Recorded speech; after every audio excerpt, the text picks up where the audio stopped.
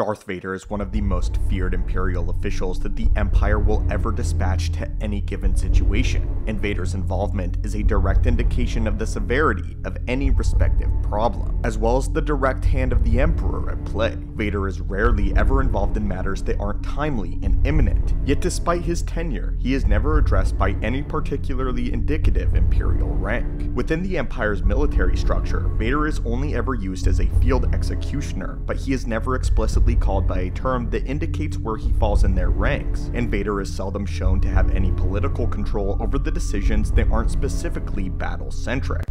So where does Darth Vader rank in the Empire? Who is subservient to him, and how much political influence does he actually have on day-to-day -day operations? What was Darth Vader's rank in the Empire? Well today, acolytes of the galaxy and students of the Force, let's discuss Vader's exact role in the Empire and the amount of political influence that he truly had over day-to-day -day operations. First though, if you work within the ranks of the Empire and want to be sure to never insult Lord Vader, be sure to blast that subscribe button and be sure that you never insult Lord Vader by knowing everything that you can about him. Now my friends, let us continue. Within the Imperial structure itself, Vader doesn't actually have an official rank or placement within the Imperials, and he has often been vaguely referred to as a Supreme Commander, which is often applied to battlefield scenarios. What is unique about Vader, however, is that he can shift between ranks at the behest of the Emperor, as he only ever answers to Palpatine, and Palpatine can shift Vader wherever he pleases within the Empire at a moment's notice, meaning that in some scenarios, Vader does actually have to take orders from others. He may dispatch Vader to follow the command of one of his lieutenants, or he can offer Vader to lead any given battalion at any time, meaning that Vader's rank is perpetually ambiguous and for very good reason. This aforementioned ambiguity was actually an issue that Vader himself brought up to the Emperor in his first months as a Sith Lord, as the Imperial officers did not know that he existed or how to regard him, let alone address how much authority he really had over them. They didn't know if they had command over him, or if they were forced to obey him, or that he ever existed in the first place. During this time, before Vader's reputation, the ones that did know of him largely viewed him as Palpatine's lapdog, who served as an executioner, but didn't directly influence any day-to-day -day operations, or influence of the direction of the Empire and the progression it was going in. While the officers had full control over political decisions and strategic maneuvers in order to strengthen their hold on the galaxy, Vader was far more combat-centric than any of this, and all of this, frankly, bored Darth Vader.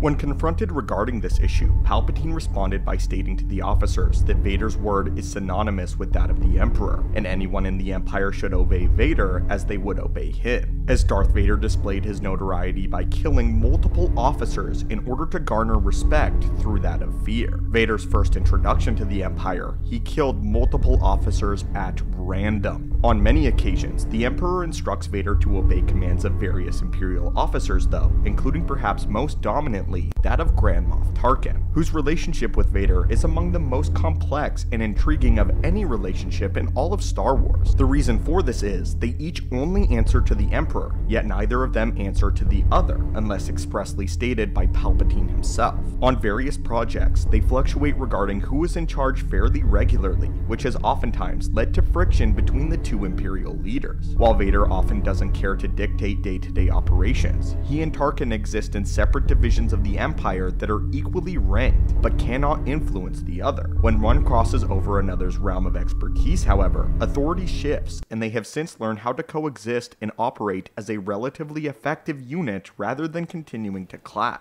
Nonetheless, during the first few years of the Empire, it could be stated that the two of them hated each other. While Tarkin is a political leader who influenced the direction of the Empire, Vader is a battlefield-centric commander who takes control in various combat scenarios, and these two units exist separately but work together fairly regularly. During the construction of the first Death Star, for example, Tarkin was placed in charge of overseeing the project and for this reason, he was granted authority over Vader in any matters pertaining to the Death Star, as we see in Rogue One as well as A New Hope when Vader takes orders from him. This meant that when any decision had to be made as it pertained to the construction and operation of the Death Star, Grand Moff Tarkin had the final say, and was the only one cleared to make the ultimate decision. Vader obeyed Tarkin in these circumstances. However, Vader had full authority over anything related to battlefield combat or tactics anytime the Empire had to lay siege to a planet, hunt a rogue Jedi, or face down a battalion of rebels. Vader was the unrefuted general in combat. This meant that they needed one another, and they each had their own respective strengths that helped to further the ultimate goals of Palpatine and his empire. Since they fluctuated rapidly between who was in charge, they learned to respect one another since they knew that the other would obtain control sooner or later, and they understood the ramifications of holding grudges in such a volatile situation. But what about other members of the Empire? Did other members of the Empire ever have control over Darth Vader in the Imperial hierarchy?